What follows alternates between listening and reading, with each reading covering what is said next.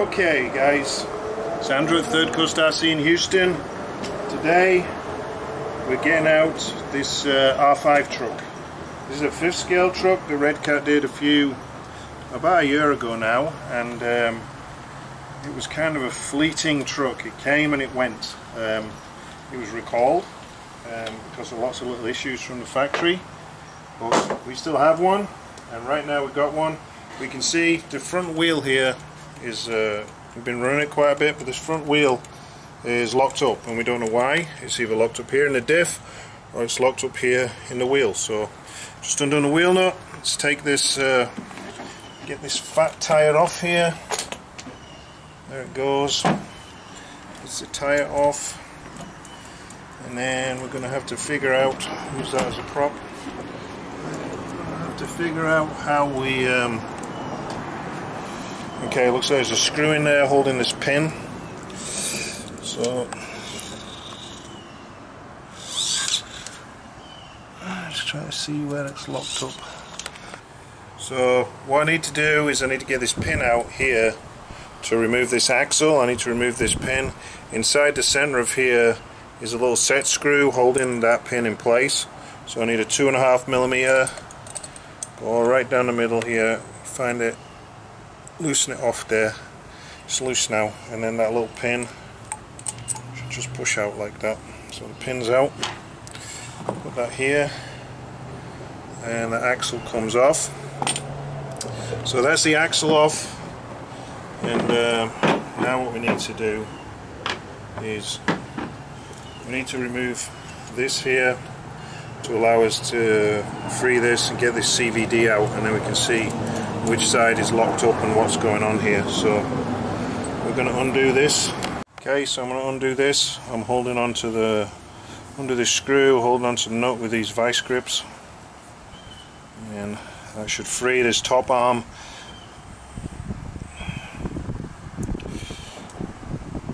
Almost there. There goes the nut. Got that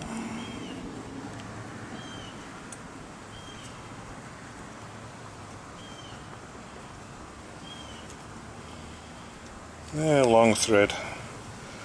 We're almost there now. Very long, fine threads on these. There it goes. So that's free.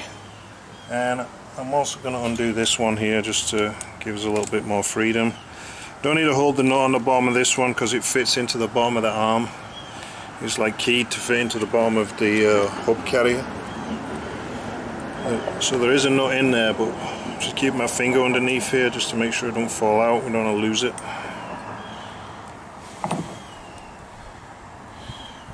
And that's free now as well. So now we can see that the lockup is not the diff's free, the lockup's in here somewhere.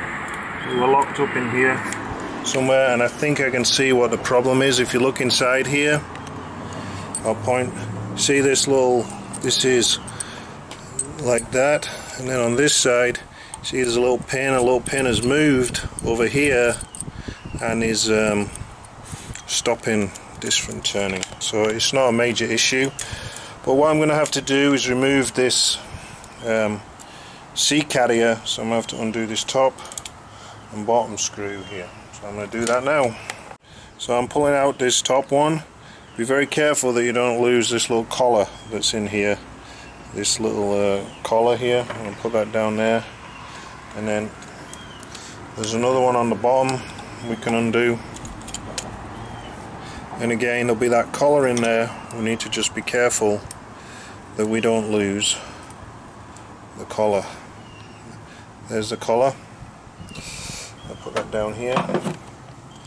And now we can remove this piece entirely and we can start to figure out how we're gonna fix this. So you can see what's happened here if you look real close this pin has moved and it's actually wedged.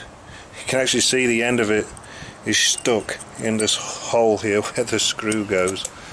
So we might just be able to push that back and uh, separate this from the carrier. So yeah you can you can kind of see that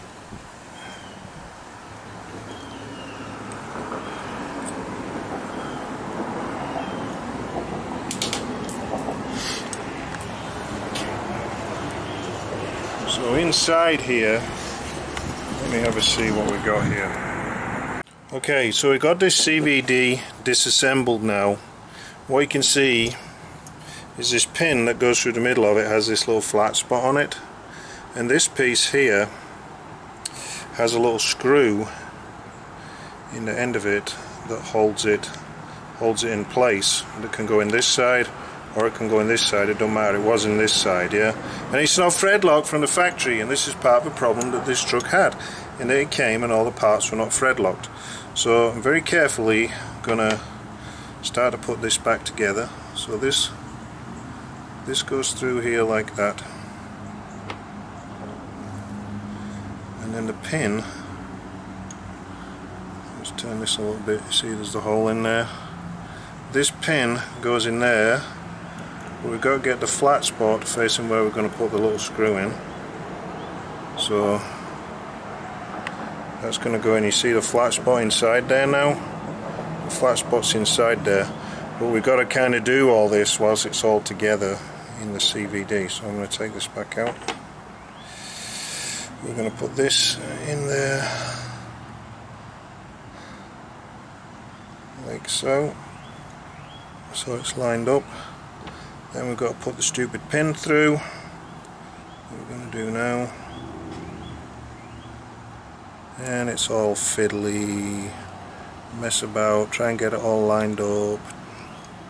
Which it didn't line up, so we're going to do it again. Put this in here.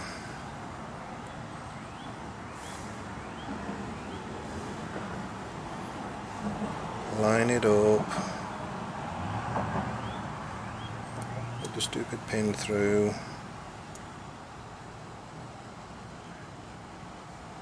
There it goes. The pin's gone through now. And we're just got enough room to bend it, but what we're going to do is we've got to get the pin so that the stupid pin, the flat spot is going to be here or here. The flat spot's right there, I can see it. So here's a little set screw. I'm going to use a little bit of thread lock so the stupid little thing doesn't come undone again I'm going to put that in, turn it up so it sits against that flat spot. There it goes. Tighten that sucker up. Not super super tight that you strip the head of the and that is all good and rotating now. So when we put this stupid thing back in here jiggle and wiggle to get to go back in here past the bearings now we've got an axle that actually turns when it should. Alright, we're going to put it back together, so um, come back in a couple of minutes. So we got it all back together, everything turns free again. This was the wheel that was locked up because that stupid screw had come loose and let that little rod come, that little pin come free. So truck's ready now. We're going to drive it now and we're going to we're going to post that video tomorrow. So come back tomorrow on our YouTube channel, uh, Third Coast RC and uh, we'll have the video of us running this um, fifth scale R5 truck. Thank you.